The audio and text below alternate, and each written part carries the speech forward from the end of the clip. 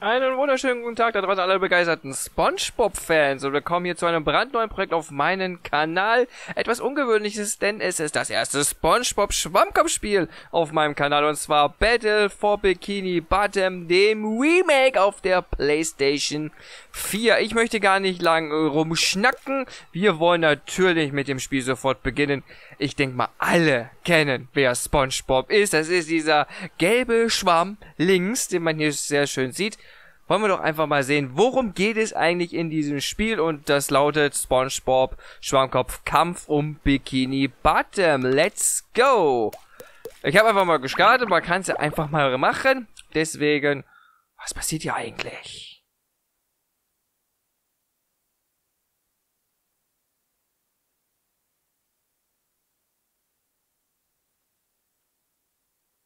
Willkommen in Bikini Bottom, ein normalerweise friedlicher Zufluchtsort im Meer.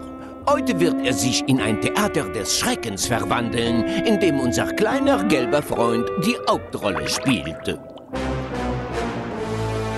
Der große Tag ist gekommen. Ich habe einen genialen Plan ersonnen, um endlich das Rezept für den Krabbenburger zu entwenden. Und wenn Bikini Bottom dabei vernichtet werden sollte, was soll's? Mit meinem nagelneuen Duplicatotron 3000 klone ich eine Armee aus Robotern, die auf meinen Befehl hin Chaos und Verwüstung anrichten wird. Noch ein letzter Blick auf die Checkliste. Mal sehen.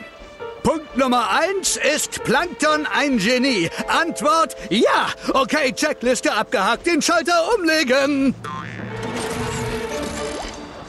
Willkommen, meine absolut gehorsame Roboterarmee. Augenblick, ich mach nur schnell ein Foto für mein Album. Hey, hallo. Was glaubt ihr, was ihr da macht? Oh nein, nein, nein! Wartet! Halt! Ich bin euer Meister! Ich hab euch erschaffen! Nein, nein! Das gute Geschirr! Ah!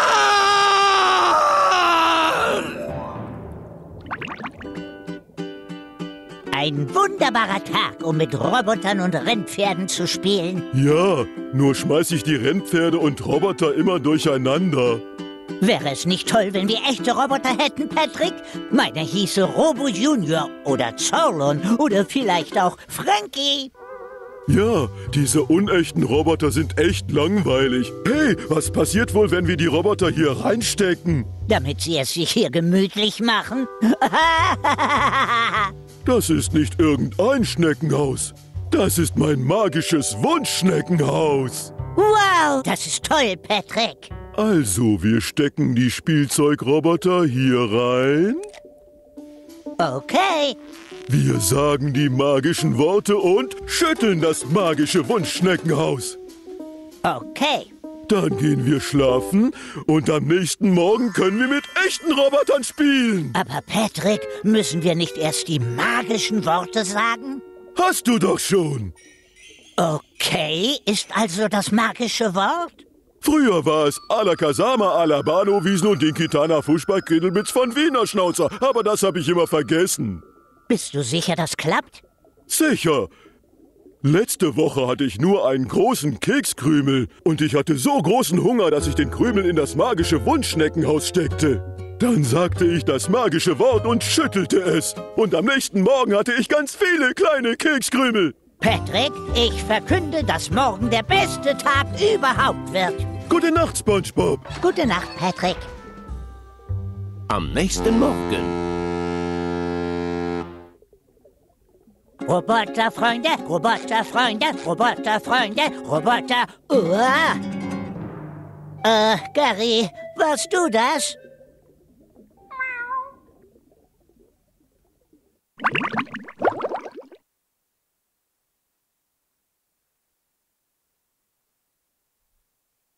Tja, Gary, sieht ganz so aus, als hätten wir ein Problem.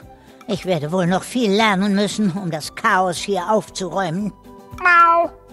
Was für eine fantastische Idee! Diese Schilder bieten mir wichtige und hilfreiche Tipps.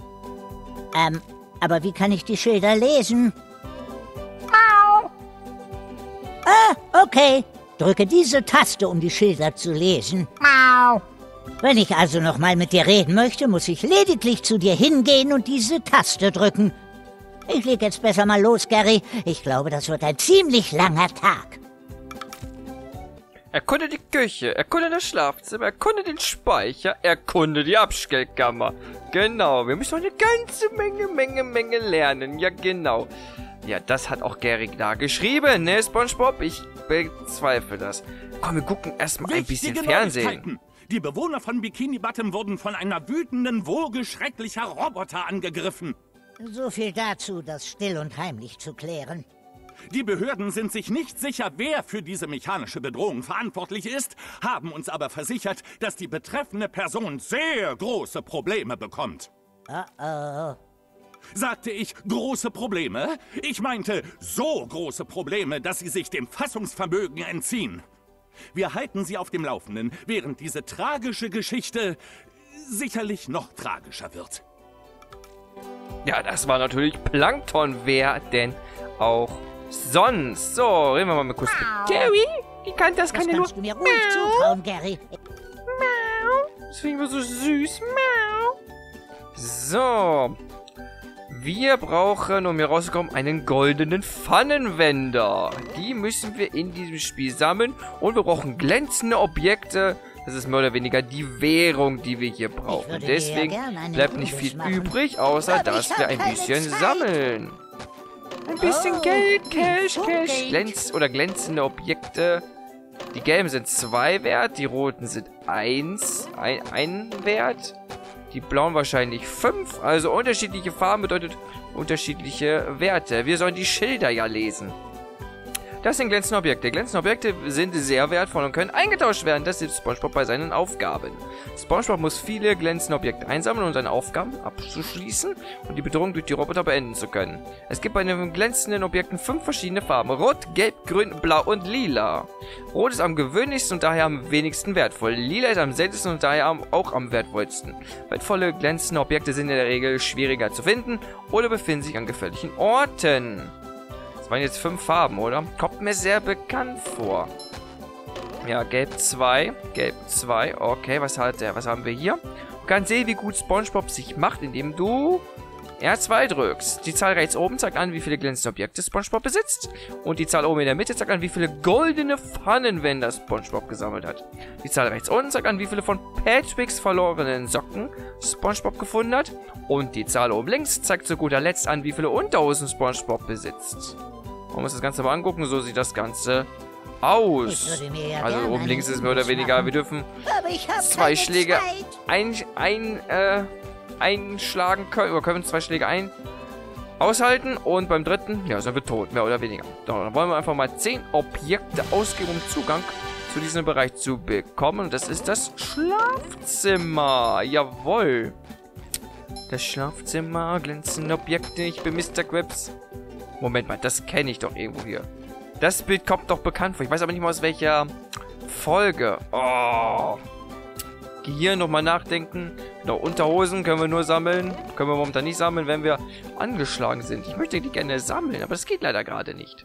Spongebob kann springen, wenn du X drückst. Drückst du X, während Spongebob gerade in der Luft ist, macht er einen Doppelsprung, kommt noch höher. Das funktioniert aber nur einmal pro Sprung. Also so, so, so.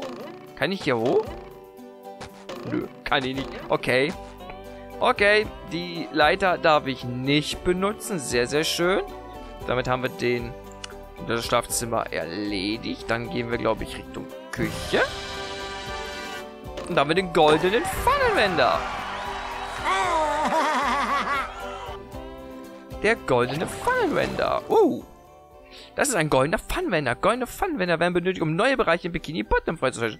SpongeBob muss viele goldene Funwender einsammeln, um die Quelle der randalierenden Roboter zu finden und diese zu besiegen. Okay, also Funwender sammeln, glänzende Objekte sammeln, Plankton in die Schranken weisen und das Haus bzw. die Ananas verlassen. Tschüss, Gary.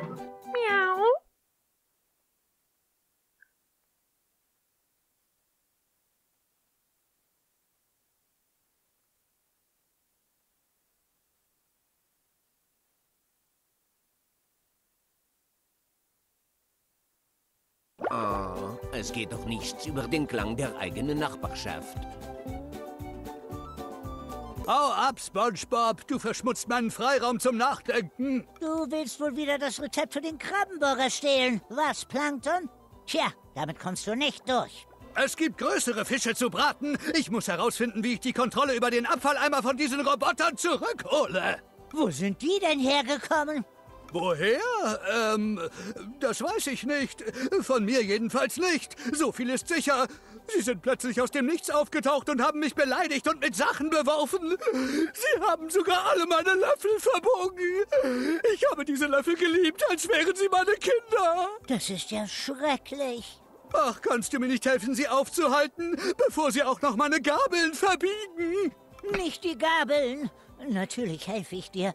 Aber Moment, eigentlich soll ich doch goldene Pfannenwender sammeln. Goldene Pfannenwender, wie? SpongeBob, wenn du mich in den Abfalleimer zurückbringen kannst, dann gebe ich dir einen ganzen Eimer voller goldener Pfannenwender. In deinen Träumen. Abgemacht. Abgemacht, abgezockt, wie so üblich bei Plankton. Das sind die Objekte, die wir wahrscheinlich mit Viereck attackieren können. Ja, natürlich. Und da kommen was natürlich raus. Glänzende Objekte. Und die brauchen wir. Oh, Dudai, Dudai. Und das sind die explodieren natürlich. Ja, natürlich. So muss das. Super Combo. Kann man schleichen? wahrscheinlich nicht. Machen wir das mal erst kaputt hier. Kann man ja mal bringen. SpongeBob, ich bin hier, um dir eine helfende Blasenhand zu leihen. Kumpelblase. Ich finde, du solltest ein paar neue Blasenmoves lernen, wenn du die Reise in die neunte Dimension antrittst, um den Riesenaffenmann zu besiegen. Aber ich muss doch nur herausfinden, wie ich diese Roboter loswerde. Im Hintergrund Ach ja, tut mir leid, ich habe wohl zu lange in Seifenlauge gebadet. Wo waren wir gerade? Äh, es ging um neue Blasenmoves. Richtig, drücke diese Taste, um dich geradewegs in die Luft zu befördern. Und zwar mit Blasenkraft, die alles besiegt, was direkt über dir ist. Probier es mal. Okay, also. Das habe ich, glaube ich, schon mal aus Versehen gemacht. Genau so. Combo! Combo! Ultra-Combo. Was gibt's denn noch? Ultra, Mega, Giga, Combo oder was noch? Hallo, hey, Patrick. Patrick, schicke Socke. Welche Socke? Die, auf der du stehst. Ach, die. Die hab ich verloren. Wenn du diese hier verloren hast, wo sind dann deine anderen Socken? Die hab ich noch Dollar verloren. Ein Rudel Roboter kam hier durch und hat mir meine Sockensammlung geklaut. Ich könnte Hilfe gebrauchen, sie zurückzuholen. Klare Sache, Patrick. Wofür sind beste Freunde sonst da? Also gut, für jeweils zehn Socken, die du mir zurückbringst, gebe ich dir eine goldene äh, Truthahnpipette. Du meinst einen Pfannenwender. Gesundheit. ja, Gesundheit, genau. Also, du musst auch noch. Socken auch noch sammeln. Socken, Pfannenwändern. Nicht vergessen am Aktivieren des Schalters musst du springen und Kreis drücken. Schenke öffnen ist klasse. Springen und Kreis drücken. Ah, okay. Okay, ohne Countdown. Ja, ja. Halt, halt, halt, halt, da will ich hoch. Ich will auf Thaddeus Haus. Ich will, ihn ein bisschen ausspionieren, von zwar von oben. Eine goldene Unterhose. Ah, das macht einen Platz frei. Sehr schön. Scheiß Schrank. Stampfattacke. Stampfattacke, Luftattacke. Tatsächlich mit Blasenkopf. Cool. Coole Idee. Jeden Fall. Da brauchen wir 10 Pfannenwender, da brauchen wir 15 Pfannenwender. Da kommen wir überall noch nicht hin. Dahin brauchen wir 5, um den Taxi zu nehmen. Aber wir können zu den Quallenfeldern gehen. Das funktioniert, da brauchen wir keinen Pfannenwender für. Deswegen haben wir das Taxi rufen und go! Weil wir haben ja keinen Führerschein.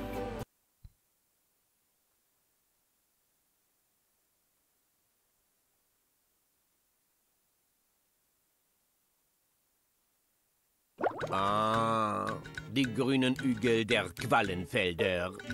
Ein Ort, um die pure Natur zu erleben und manchmal auch ein paar Stiche.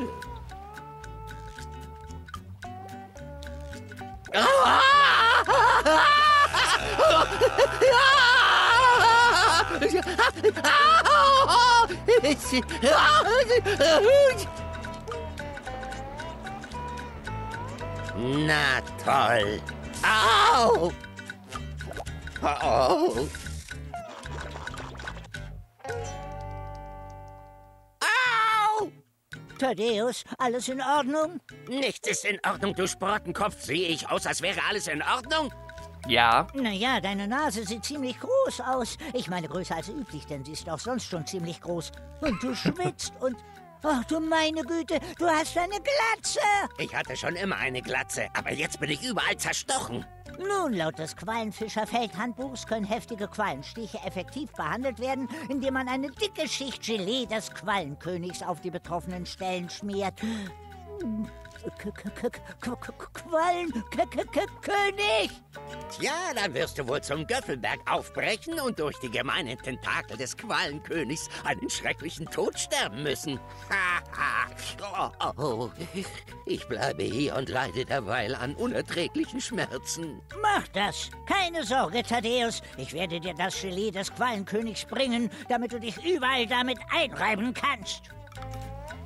Cool. Ich mag ja den Humor, ne? Ich mag diesen Humor. Oh, ist das nicht cool? Ist das nicht cool? Das war klar, dass da oben noch was ist. Aber wir müssen hier Quallengelee für Mr. Mr. Thaddeus besorgen. Machen wir das doch einfach mal. So, Stampfattacke Kreis. Das muss ich mir irgendwie noch merken. So, greifen wir an. Können wir hier die, die auch noch attackieren? Jo, dürfen wir... Nein, nein, nein, wir rennen doch nicht weg von den Robotern hier. Wir sind doch keine Weicheier. Doch, wir sind Weicheier. Wir sind ein Schwamm. Ja, ein lebendiger Schwamm. Rennen können wir hier nicht. Da bin ich gerne drauf. Dankeschön. Da ist auch nichts. Und weg damit. Geile Combo. Okay, hier haben wir... Ja, eine Kiste. Ja, eine Kiste, ja. Wo wir unsere Fantasie freien Lauf lassen Heute können, ne? wir fangen. Wo wir ja Ich alles werden können. Alles, was wir uns vorstellen können. Oh ja, wir vierte Unterhose haben wir jetzt auch. Komme ich hoch? Okay, so komme ich da nicht hoch. Man muss doch erstmal hier umsehen. Roboterplätten. Ah, komm her. Ah, tschüss. Super Combo. Mega Combo. Ich glaube, da gibt es auch mehr glänzende Objekte, wenn wir hier Kombos machen. Okay, im Springen kann ich das auch machen. Nice. Oh, da gehen wir auf jeden Fall rüber. Das sieht hier geheimnisvoll aus. Okay, die Unterhose brauche ich nicht unbedingt. Oh, haben wir gleich hier schon einen Secret-Raum gefunden, oder wem? Wo ein goldener Pfannenwender ist. Das wäre super. Nee, aber eine Socke, die nehme ich auch. Danke, sicher, das zurückzubekommen. Oh, da ist ein Pfannenwender, da ist ein Pfannenwender. Oh, Jung. Okay, da ist ein Pfannenwender. Wie kommen wir da hin? Gute Frage. Nächste Frage. Ach, habe ich erwähnt, dass das blind von mir ist? Aber ich habe auf jeden Fall eine Socke, haben wir hier schon mal gefunden und einen Pfannenwender. Okay. Okay, ich werde auch gleich hier geportet. Und... Oh, super Monster. Kom Kombi. Okay, da kommen wir von da oben irgendwie hier runter. Ja, so sieht das Ganze aus. Mal gucken wie. Oder da muss eine Plattform oder so hin. Auf jeden Fall, wenn man gestorben ist, man hat keine Leben. Also das ist das schön. Aber ja gut, die Gegner kommen zurück. Aber auch die... Wir können auch wieder mehr glänzende Objekte sammeln. Die Quallen äh, können wir auch töten. Mega-Kombo. Jawohl. Ne, gibt nicht mehr. Schade, schade, schade. Okay, da brauchen wir schon mal für die Muschel 125 glänzende Objekte. Hier will ich hoch. Hier will ich hoch. Hier will ich hoch. Hier komme ich auch hoch, ohne Probleme. Was haben wir da oben? Da haben wir nur eine Unterhose. Hier können wir uns ja mal umgucken. Oh je, oh je, oh je, oh je, oh je, oh je. Aber Moment mal, komme ich hier nicht weiter? Nee, scheinbar nicht. Nee, das schafft Spongebob nicht, ne? Schafft Spongebob nicht. Aber hier kommen wir nochmal hoch. So, so. Weg mit dem. Ah, doch. Okay. Hier kommen wir aber jetzt rauf und dann können wir springen. Ganz einfach. Kann man ja... Nee, Kamera darf ich hier oben nicht drehen. Das ist nicht erlaubt. Schade. Da hätte ich noch ein bisschen mehr gesehen. Äh, Moment. Ah, wir bleiben bei den vier Unterhosen, auch wenn wir äh, gestorben sind. Hier sieht man auch noch unten links, dass wir das Gelee brauchen. Ja, da unten war ich gerade schon. Da habe ich schon mal das Wasser begutachtet. Ha! Wir können ja nicht schwimmen. Ah, wir müssen die Brücke wiederherstellen. Ja, da, da komme ich ja sowieso nicht drum herum, oder? Deswegen bezahlen wir das Ganze einfach mal. Genau, schön repariert. Wir haben eigentlich nicht die Buchstabe bezahlt, wir haben den, den, den Flieger da bezahlt. Das sind Checkpoints. Checkpoint, nice. Sehr schön. Kurz gucken, wo sehe ich denn wie viele Funwender wir haben? Oh, Quallenfelder. Ah, hier sieht man, okay. Da können wir auf die Details gucken. Oben auf den Hügel. Okay, wir haben hier quasi 2, 4, 6, 8 Pfannenwender und 14 Socken. Gut zu wissen. Gut zu wissen, weil das steht hier nicht. Ne, das steht da leider nicht. Also, 8 Pfannenwender, die müssen wir suchen. Also das Spiel, erster Eindruck, es macht Fun. Es macht Fun. Es macht richtig Fun. Weil wir müssen uns hier überall umgucken. Hier gibt es überall was zu, zu finden. Okay. Alles klar. Ja, die Steuerung, da muss ich noch vertraut werden. Viereck zuschlagen. Was haben wir hier? Lesen wir doch einfach mal das Schild. Eine Frierfrucht. Nur Patrick kann die Frierfrucht nutzen. Ah, um da drüben zur Socke zu kommen. Alles klar. Wasser einfrieren, dann zur Socke kommen. Also ich muss hier nochmal mit Patrick hin. Wir können nicht nur Spongebob spielen, wir können auch Patrick und Sandy spielen. Das sollte ich auch nochmal kurz erwähnen. Also wir werden nicht nur Spongebob spielen. Mr. Thaddeus können wir leider nicht spielen. Schade eigentlich. Thaddeus, ich liebe Thaddeus. Können wir auch noch hin. Wir müssen, wir sind ja gezwungen, glänzende Objekte zu sammeln. Ich nehme lieber mehr glänzende Objekte mit als zu wenige. Okay, kein Funwender, nichts. Nichts desgleichen, kein Funwender. Oh, da, das habe ich geschafft. Okay, dann schaffen wir das auch. Komm. Jawohl. Manchmal ist das total Mal gucken, was das aktiviert. Ah, das macht einen Weg für die einsame Insel da drüben frei. Ja, nice. Etwas zur Steuerung, das wissen wir ja mittlerweile hier auch. Linker Analogstick, damit bewege ich Spongebob. Mit dem, mit, der, mit dem rechten Analogstick, da bewege ich die Kamera. Und dann haben wir die zweite Socke hier schon gefunden. Dann bekomme ich bestimmt zurück. Das ist ja ein kleines Trampolin. Hier war ja klar. Juhu. Nice. Also zweite Socke schon gefunden. Super. Bei den Quallenfeldern. Ich glaube nicht, dass wir direkt alles finden werden. Oder dass wir alles direkt holen können. Das glaube ich nicht, denn ich glaube, dass wir hier vielleicht auch irgendwie versteckte Fähigkeiten erlernen können mit Spongebob oder auch Patrick. Oder auch später Sandy. Das kann ich bestimmt nicht. Ich will es gar nicht versuchen. Ich will es gar nicht versuchen. Nein, kann ich natürlich nicht. Unterhose, dankeschön. Ah, gar kein Problem. Was ist das hier? Eine Rakete? Kann ich das kaputt machen? Ja, natürlich. Wir können alles kaputt machen. Was macht denn Gary hier? Wow, ein Bungee-Sprung für einen goldenen Pfannenwender. Ich glaube, ich bin im Himmel.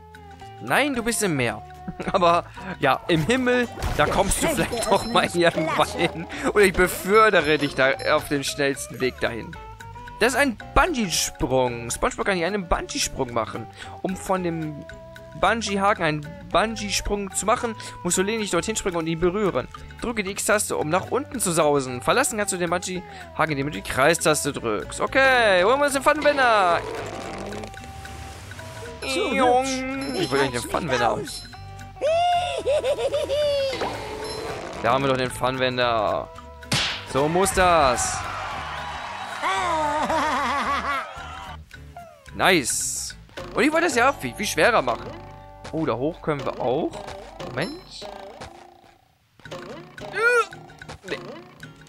Weiter hoch geht's nicht. Das ist hier der Quallenkönig. Okay, da können wir irgendwas aktivieren mit. Ja, sauber. Hä?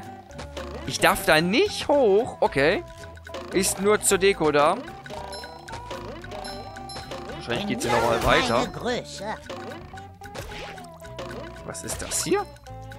Kommen da die ganzen Roboter raus oder wie muss ich das verstehen? Da unten? Ich weiß gar nicht wissen, ob ich da unten auch hinkomme. Boah, hier gibt so viel zu entdecken. Bei den Quallenfeldern schon. Checkpoint. Checkpoint. Oh mein Gott, was hat denn der da? Einen richtigen Steak?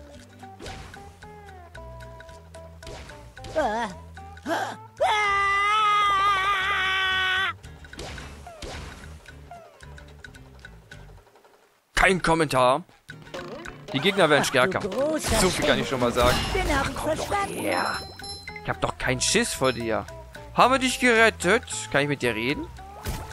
Aber ich kann... Ich darf dich auch verprügeln. Komm. Macht doch Spaß. Ist ja nur ein Kinderspiel. Wir verprügeln hier die ganzen Dorfbewohner. So muss das. Und nicht anders. So, die ersten Part machen wir 30 Minuten lang. Und beim nächsten Mal machen wir dann den Rest hier von den Quallenfeldern. Ich habe erst einen goldenen Pfannwender gefunden. Das ist wenig. Das ist wirklich wenig. Okay, da komme ich auch irgendwie hoch. Irgendwie ist gut.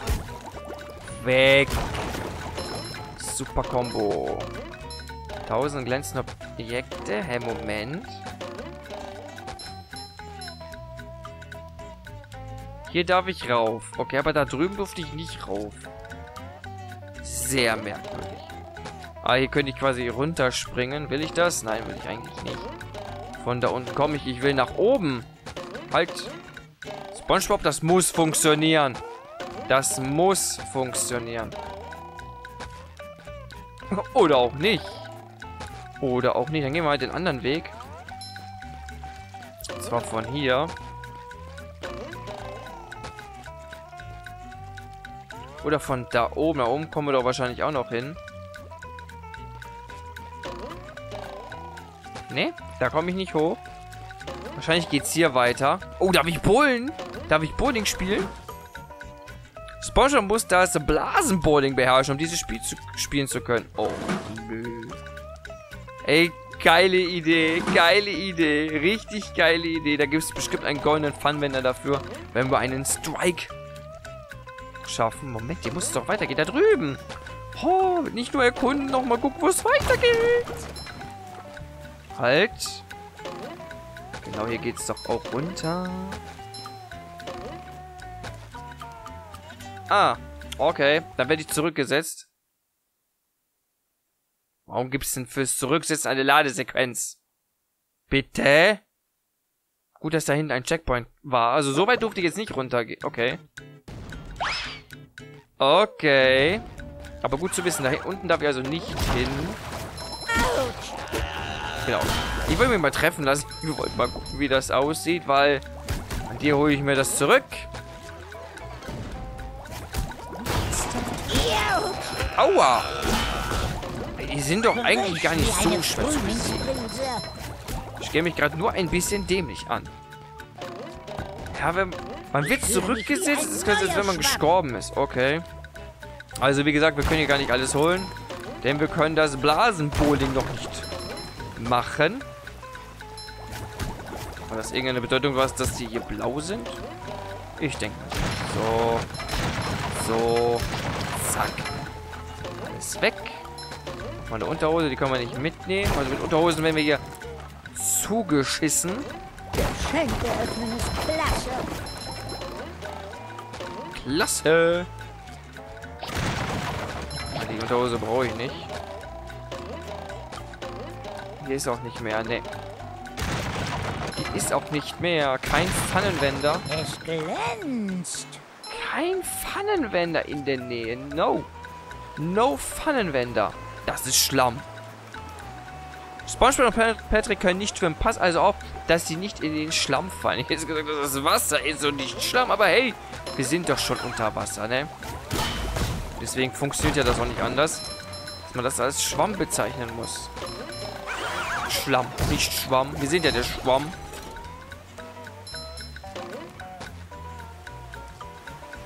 Für eine Unterhose gehe ich da jetzt nicht rüber. Das ist es mir nicht wert. Bei einem Funwender sieht die Sache schon wieder anders aus. Das kann doch nicht sein, dass es hier... Dass wir bisher nur einen Funwender gefunden haben. Wow, wow, wow, Moment. Ah, hier komme ich dann quasi wieder zurück zum Anfang. Jetzt sind wir ein paar zu viele Gegner. Ah, die kommen wahrscheinlich hier raus. Kaputt machen, kaputt machen, kaputt machen, kaputt machen. Ah, okay, das geht auch noch in die Luft. Okay, hier hoch sollten wir ja. Da können wir noch ein bisschen was einsammeln. Frisch Werden wir auch mal machen. Also einmal muss ich mit Pat... So, einmal muss ich noch mit Patrick, Patrick hier zurück. Ja, das funktioniert doch. War doch klar.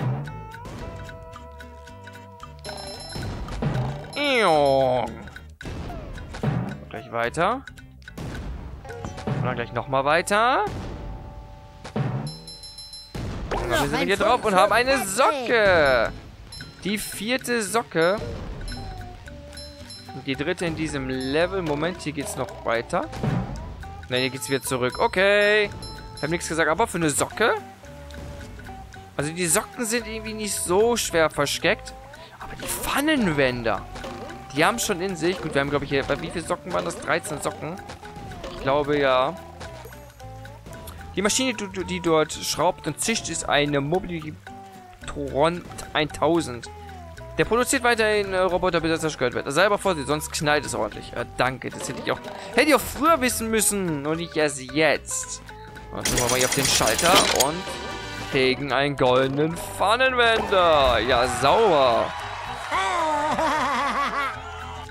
Und im nächsten Part gucken wir mal, wie es hier weitergeht bei den Qualenfeldern. Wenn es euch gefallen hat, lasst es mich gerne wissen mit einem Daumen nach oben, schreibt einen Kommentar und wir sehen uns wieder bei diesem wunderschönen, richtig geilen Spiel Spongebob Schlamm, Schwammkopf, Kampf um Bikini Button, dem Remake auf der Playstation 4. Also macht's gut, haut rein und tschüss!